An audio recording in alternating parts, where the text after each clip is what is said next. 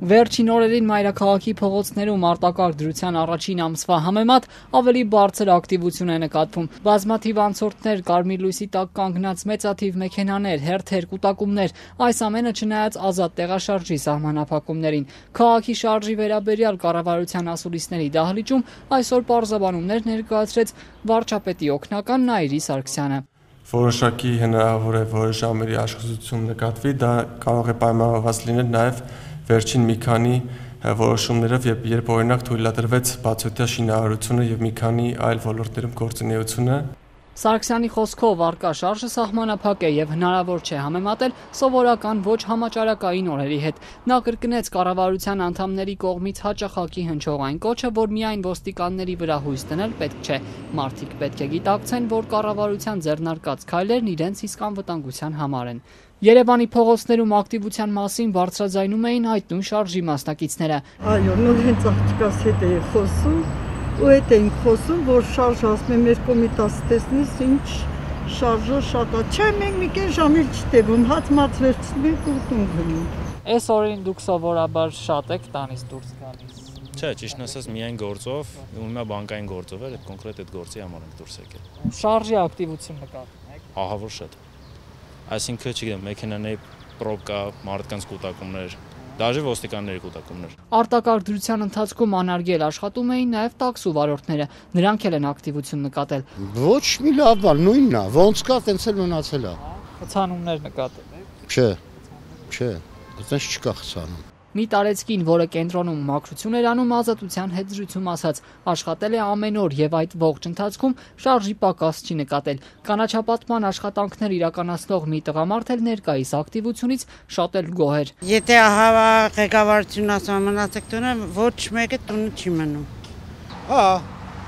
Հա, շատ լավ է, աշուժանով է քաղաքը։ Հոյակապա։ Դուք ամեն օր աշխատում եք։ Հա։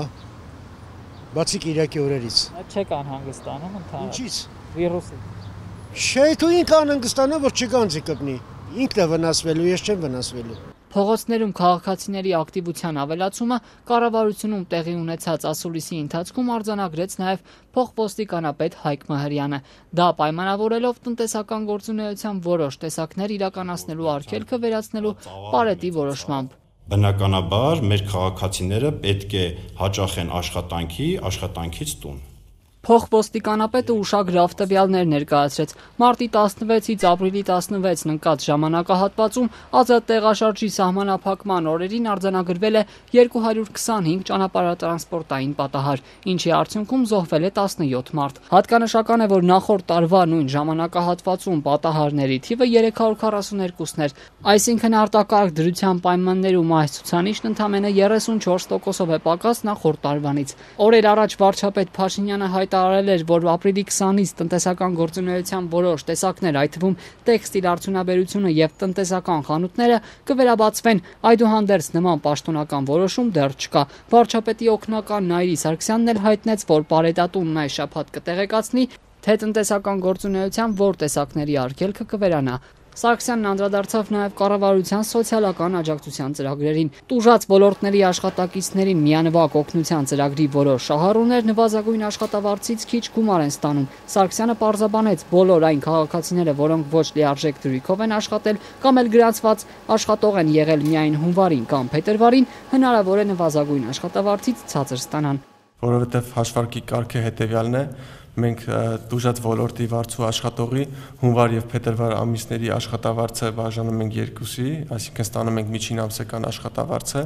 Եթե դա ավելի ցածր է, քան նվազագույն ամսական աշխատավարձը, նա ստանում է այդ չափով աջակցություն։ Իդեպ դուժած ոլորտների ցանկում ավելացել են մարդատար տրանսպորտի ծառայությունները, նախադրոցական կրթությունը, սպորտային գործունեությունը, ուզվարճությունների եւ հանգստի կազմակերպումը։ Այս 4 ոլորտների շուրջ 8000 տնտեսվարող սուբյեկտների ներկայացուցիչներ արդեն կարող են դիմել իրենց հասանելիք աջակցությունը ստանալու համար։